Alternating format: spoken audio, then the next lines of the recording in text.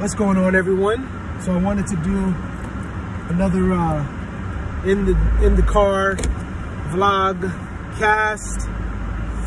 So I'm driving and uh, thinking about thinking about the end of our lives and the um, the importance of living in light of the end, right? Living today in light of the end. You know, if we if we really think about the day that we stand before God, our triune God, it really puts in perspective what matters. What matters in our day-to-day lives, the things that we do, the relationships that we establish.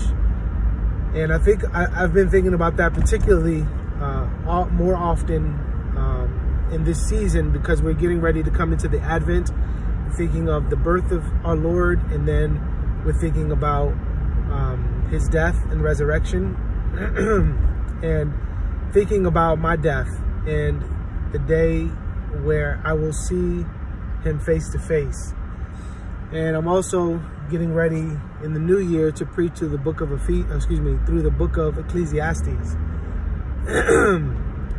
so just thinking about the end in mind, thinking about living my life backwards, starting with the end in mind, and then making decisions daily that impact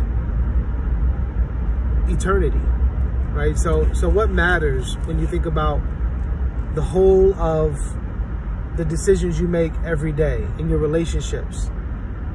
Um, it really puts into perspective the wasted time and the missed opportunities, right? Time wasted on social media or just stuff that really has no eternal weight of glory. Um, and yet,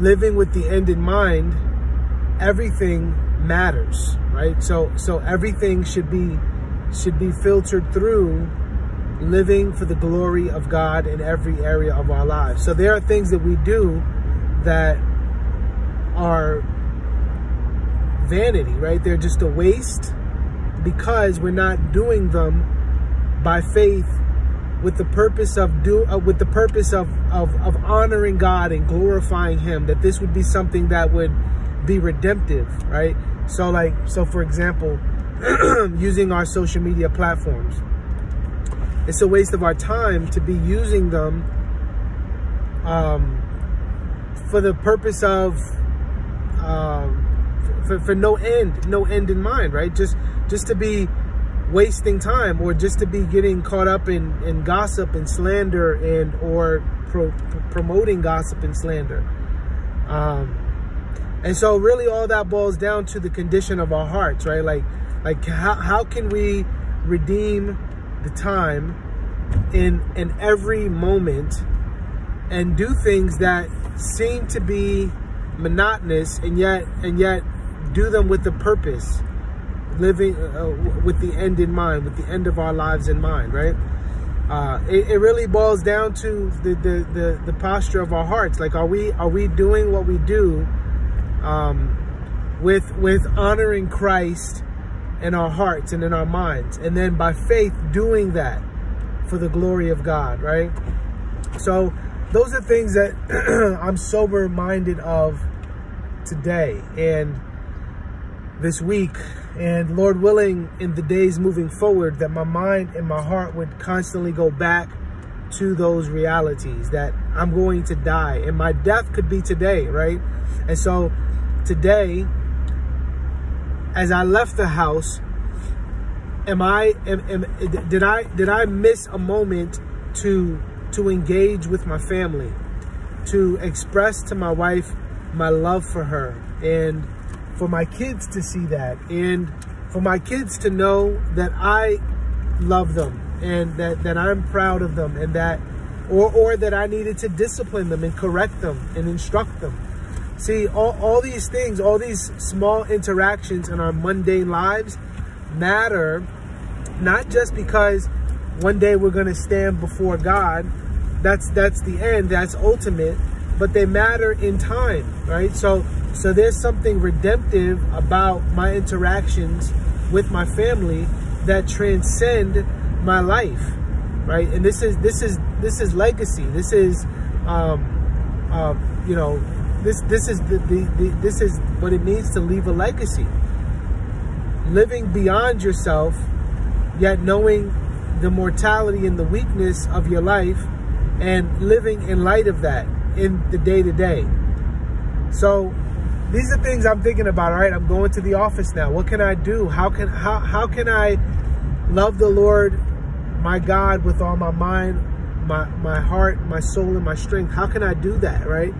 How can I how can I um, love my neighbor as myself today as I interact with people, um, either from my congregation or from the community?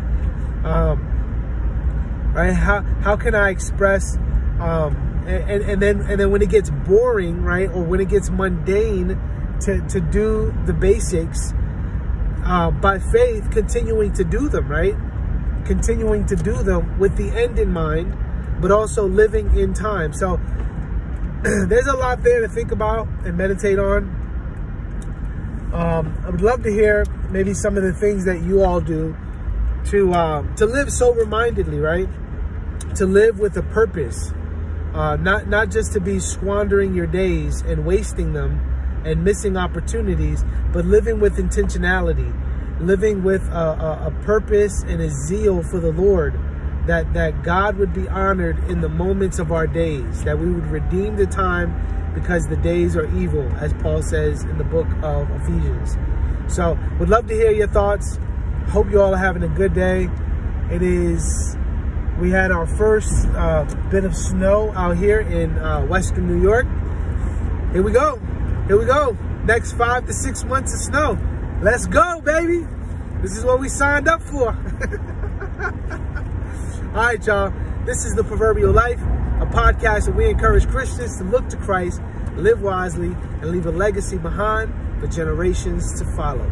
Grace and peace, y'all.